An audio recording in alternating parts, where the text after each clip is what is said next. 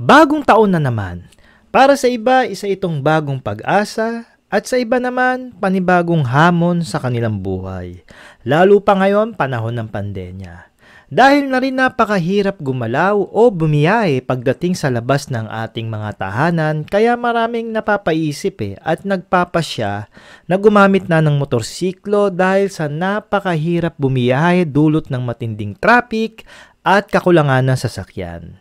At ngayon ng 2022 Brothers on the Wheel, marami tayong motorsiklo na aabangan sa ating YouTube channel at Facebook page. At bigyang silip na nga natin ng isang scooter na papasok ngayong taon, ang Rusi Falls 150. Brothers on the Wheels, bago tayo magpatuloy, baka naman pwede nyong i-like ang ating episode kahit wag na kayong mag-subscribe. Pero syempre, mag-subscribe na rin kayo at i-click ang all notification bell. Meron na rin tayong Facebook page, like and follow nyo na rin at mag-join na rin kayo sa ating Facebook group para fully updated kayo sa mga parating nating motorcycle episode. Cheers! Pinakita last year ng Mitch Motovlog at F-Stop Multimedia Motion ang pinaka-latest demo scooter unit ng Rusi pagdating sa 150cc category. Yan nga ang Pulse 150 or sa unofficial name nito na Blaster 150. Again, maraming maraming salamat sa Mitch Motovlog at F-Stop Multimedia Motion sa pagbibigay pahintulot na magamit ang kanilang mga larawan at video para sa ating bagong moto preview dito sa Pulse 150 ng Rusi. At huwag niyo pong kakalimutan mga brothers on the wheel na mag-subscribe sa kanilang YouTube channel at i-like and follow naman ang kanilang FB page para updated kayo sa mga bagong models ng Rusi Motors. Okay mga brothers, back to topic tayo dito sa Pulse 150 ng Rusi. Sa itsura pa lang, kakaiba na ang approach dito ng kumpanya. At the same time, inspired rin ang itsura nito sa mga kilalang scooter na meron tayo dito sa Pinas.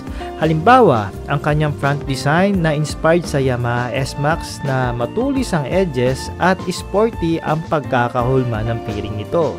Pagdating naman sa handlebar, ito ay naka-naked type since wala itong fairings na more on rugged ang datingan sa manibela with the basic control and switches na kailangan natin sa pagmamaneho. Tungo naman tayo sa kanyang floorboard or sa tawag na iba na gulay board ay hindi ka rin mabibitin dahil malaki ang kanyang espasyo para sa iyong tapakan at mga dalahin.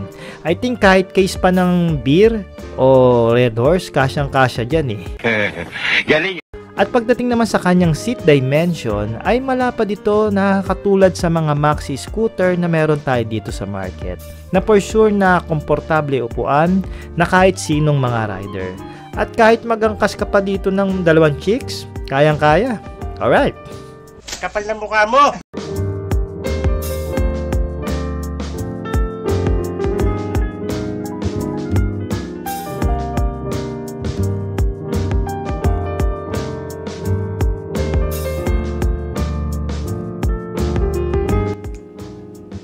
Okay mga brothers, alamin pa natin ang mga basic specs at key features ng bagong scooter ng Rusi. In lighting system, nandun na yung LED na siya eh. pagdating sa dual headlight, taillight, turn signal lights, and daytime running light. At modernized na ito in terms sa design na pwedeng sumabay na kung ano ang nauuso ngayon. Ang gauge panel niya ay napaka-okay rin at friendly user dahil nandito na ang mga essential at basic indicators na kailangan natin sa biyahe.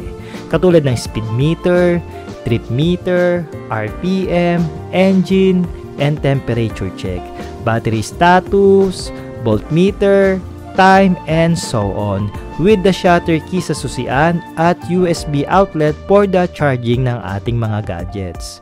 Pagdating naman sa kanyang wheel setup, ito ay nagamit ng 12 inches mugs front and rear na may size na 110 by 70 sa harap at 120 by 70 naman sa likuran.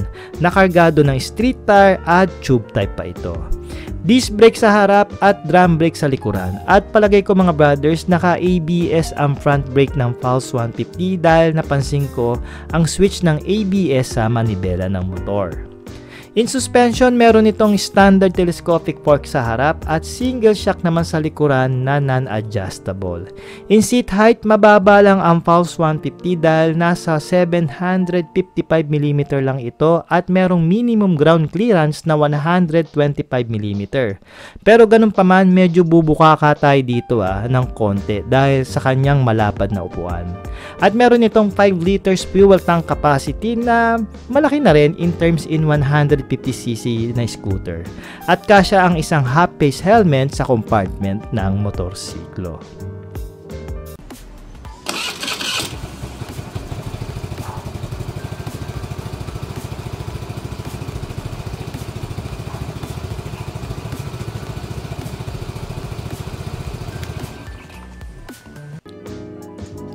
Last year, nagsabi na ang Rusi Motors na dumadaan na lang ito sa testing process at nangako na ang kumpanya na ngayong taon, 2022, ay ilalabas na nila ito sa kanilang mga branches nationwide.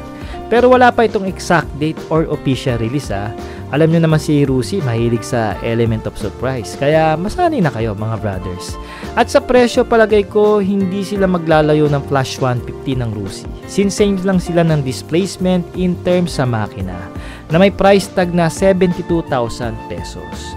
Ganun pa man, kaabang-abang naman talaga ang pinaka-latest EFI scooter ng Rusi, ang Pulse 150 dahil sa ganda ng kanyang features. Kayo mga brothers, on the wheels, ano sa palagay nyo? Papatok bang scooter na ito? I-comment nyo na at ating mapag-usapan. At uh, huwag nyo kakalimutan mag-subscribe sa ating YouTube channel at like and follow ang ating Facebook page kung hinihintay nyo ang walk around sa motor na ito. Alright? Maraming salamat.